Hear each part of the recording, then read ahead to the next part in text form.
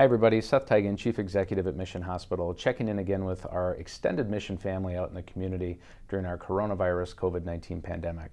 Uh, first, I'd just like to start with a coronavirus update and a thank you to all of you out in the community. You really are making a difference by wearing your mask, practicing social distancing, uh, and washing your hands. We have seen our numbers drop significantly over the past six weeks uh, and are about half of the inpatients uh, that we had just back in July. So, thank you again on behalf of our medical staff and all of our caregivers here at Mission Hospital. It really is making a difference. Speaking of making a difference, I also want to give a shout out to the Mission Hospital Foundation.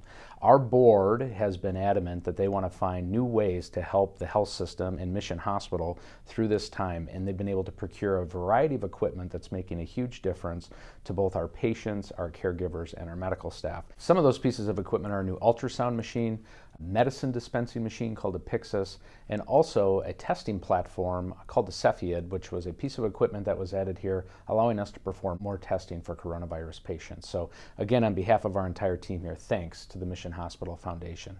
Uh, speaking of reasons to come into the hospital, you really should continue to do those screening exams. So mammography, screening colonoscopies, please don't delay your care at home. The hospital is as safe as it's ever been.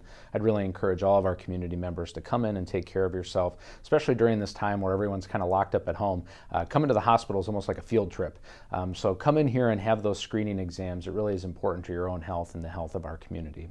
Uh, back to the Mission Hospital Foundation, they've really been focused on helping us uh, identify and procure new pieces of equipment that are making a big difference on the surgical side of the work we do here at the hospital. Uh, some of those pieces of equipment have been a second Da Vinci robot that was uh, acquired earlier this year, the Mazor robot, which is in our Neurosurgical Institute, uh, and most recently a discussion around adding uh, robotic bronchoscopy uh, to the portfolio of state-of-the-art offerings here at Mission Hospital. So again, thank you to our foundation for their leadership in this regard.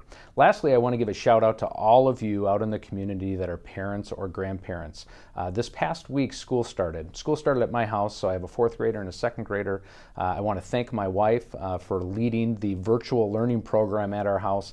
It is not without its own challenges, as I'm sure many of you experienced. But again, like the coronavirus, virtual learning, we are in this together. We can do it. May God bless all of you. Take care. We'll talk soon.